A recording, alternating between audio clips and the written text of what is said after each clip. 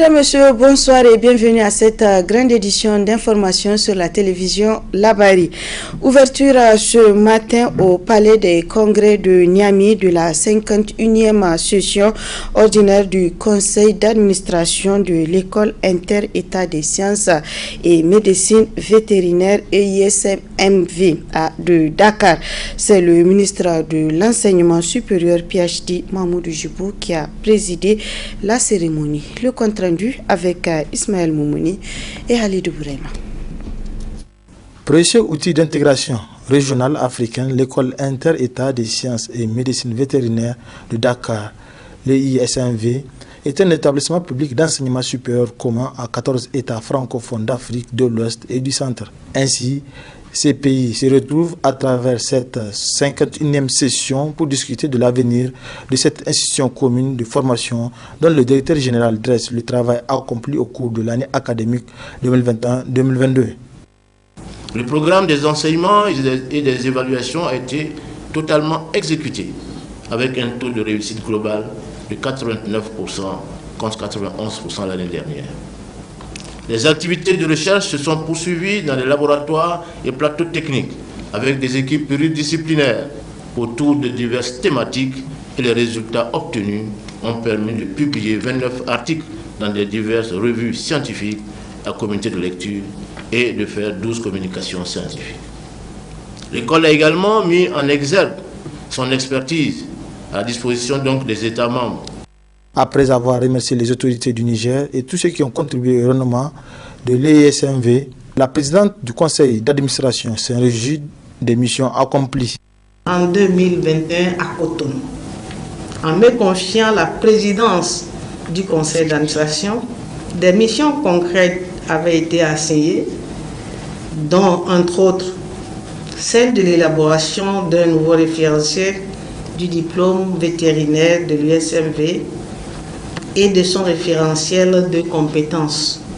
L'élargissement du nombre des États membres, le développement et l'intégration des technologies de l'information et de la communication dans l'enseignement, le recouvrement des arriérés de contribution au fonctionnement de l'UNCB, et j'en passe.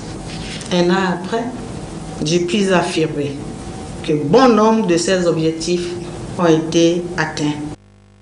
Après avoir remercié le ISMV pour le choix porté sur le Niger pour abriter ses assises, le ministre de l'Enseignement supérieur rassure l'école de l'engagement des autorités du pays à les soutenir.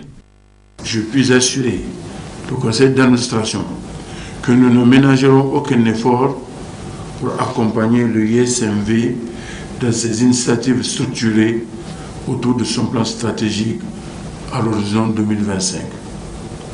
D'ores et déjà, j'ai l'agréable plaisir de vous annoncer que le président de la République du Niger a instruit hier soir le paiement intégral des arriérés de formation des étudiants nigériens pour un montant d'environ 334 310 992 francs.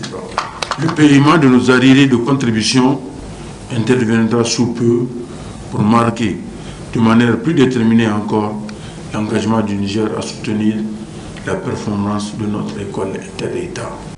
Depuis sa création en 1968 à ce jour, l'ESMV a formé 1586 docteurs vétérinaires, dont 126 vétérinaires nigériens, et a développé les compétences chez plus de 450 professionnels et de 369 diplômés de master, dont 60 nigériens. Méconnu dans notre société, le phénomène d'homosexualité considéré comme dépravation des mœurs. Ce phénomène de LGBT existe au Niger malgré que, c'est un pays majoritairement musulman, ce qui a suscité ce reportage de Labari Matassa Web TV. Bloqué depuis près de deux ans au Niger, un groupe de réfugiés lesbiennes, gays, bisexuels, transgenres, LGBT à Niamey réclame une prise en charge et un appui au Haut Commissariat des Nations Unies pour les réfugiés afin de pouvoir être localisés et le groupe de jeunes lesbiennes détectées à Maradi a heurté la sensibilité de beaucoup de Nigériens. Ces derniers n'arrivent pas à comprendre une telle pratique dans un pays majoritairement musulman. Pour l'autorité, l'homosexualité ne sera pas légiférée au Niger. Nous avons arrêté 115 États qui avaient pris la parole. Et ça démontre l'intérêt que la communauté internationale porte à notre pays. Ils ont pris la parole soit pour féliciter le Niger pour toutes les avancées que nous avons arrêtées, soit pour faire des suggestions ou des recommandations au Niger. Nous avons arrêté jusqu'à 254 recommandations. Mais sur les 254 recommandations, il y a 6 recommandations que le gouvernement n'a pas acceptées. Et ce sont des recommandations qui sont relatives aux droits des personnes dites homosexuelles. Le Niger n'a pas accepté cela. Donc le Niger ne peut pas, n'entend pas légiférer pour mettre euh, fin à certaines rumeurs qu'on entend par-ci, par-là. Le Niger n'entend pas légiférer pour reconnaître les droits des personnes homosexuelles au Niger. De la proclamation de la République à nos jours, le Niger n'a ratifié aucune loi interdisant l'homosexualité. Seul l'État a le droit de légiférer sur cette pratique selon la Commission nationale des droits humains, CNDH. Pour nous, le droit s'évale pour l'instant il appartient à l'État de légiférer ou pas. Cela, ça c'est autre chose. Mais bon, c'est des questions qui restent de l'autre côté et ils vont être gérés à des moments donnés. Donc euh, voilà, mais pour l'instant, pour ce qui concerne la commission, nous sommes vraiment ravis de constater qu'on peut parler de la même voix et qu'il y a des avancées.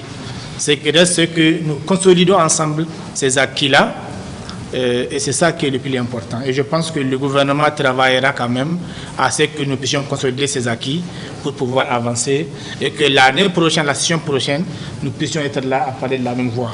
Considéré comme étant une dépravation de mœurs au Niger, le phénomène de LGBT gagne du terrain, surtout avec l'avènement des réseaux sociaux. Ce reportage a été réalisé grâce à l'appui de IMS.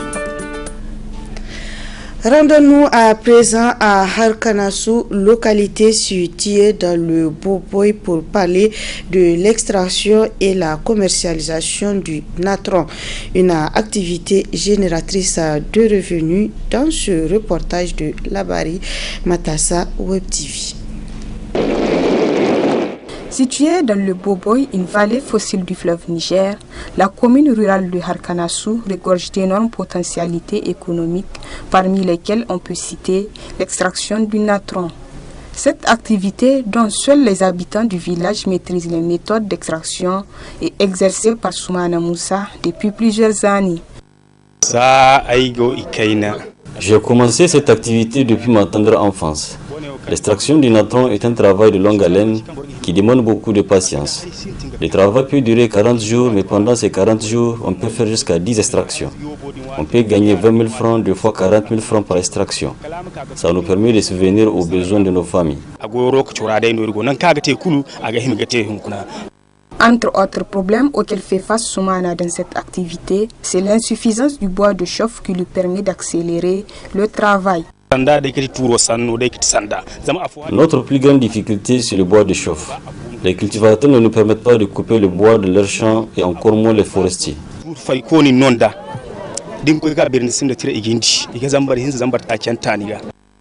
A noter que l'extraction du natron se fait dans la commune rurale de Harkanasu et dans d'autres localités du Niger en période de contre-saison, c'est-à-dire juste après les récoltes. Ce reportage a été réalisé grâce à l'appui de IMS. Du sport, le championnat national de la Super League 2022-2023 va débuter demain vendredi 11 novembre avec, comme l'indique le programme Jean Gorzo FC et l'USGN.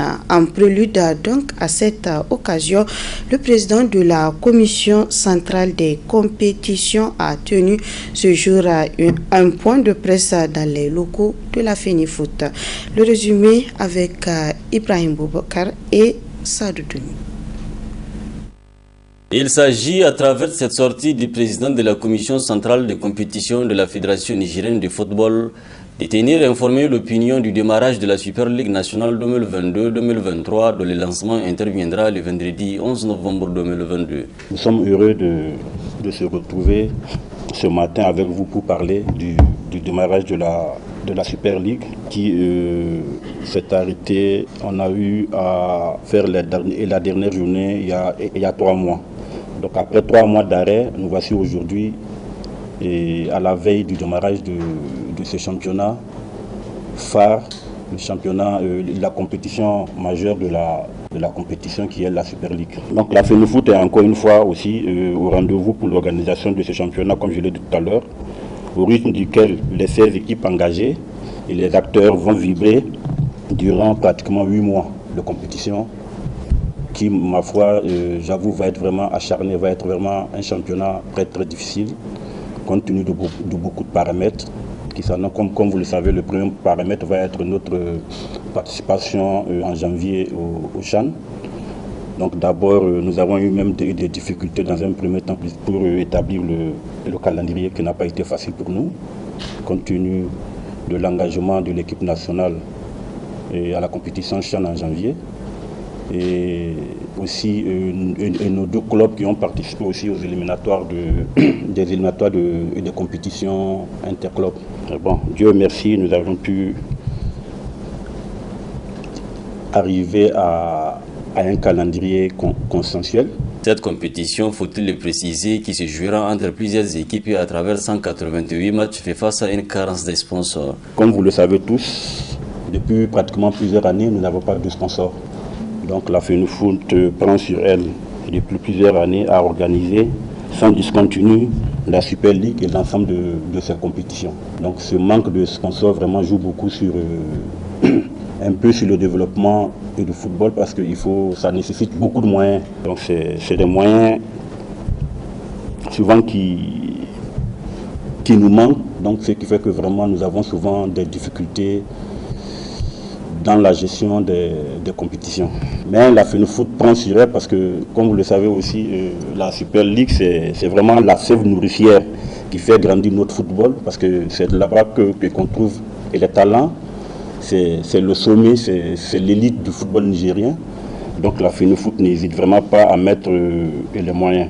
Aux questions de savoir quelles sont les innovations apportées et comment respecter l'organigramme avec des matchs reportés, le président Omar répond en ces termes. À part, euh, comment dirais-je, les, sensibilisations et les formations, parce que nous avons beaucoup sensibilisé les, les dirigeants et les clubs, par rapport à beaucoup de choses que nous avons constatées dans le passé, dont nous leur, avons vraiment sensibilisé, attiré leur, attention par rapport à ce qui se passait.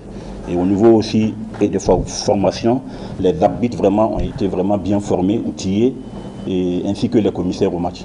Par rapport au match de, de barrage, nous sommes toujours en réflexion. Donc à savoir si ça va se jouer sur terrain neutre ou sur, sur match en aller-retour. Donc pour le moment, rien n'a rien, été décidé. Mais le 12e de la Super League quand même jouera un match de barrage contre l'équipe de, de... Se félicitant de l'intérêt qui portent désormais les plus hautes autorités au ballon, le président de la commission a fini en invitant les acteurs à faire preuve d'esprit de grandeur en respectant l'esprit de la compétition et du jeu qui ne repose que sur le fair play. Voilà, mesdames, messieurs, c'est ainsi que se referme cette euh, édition. Merci à vous de l'avoir suivi et restez en compagnie des programmes de la télévision La Barre.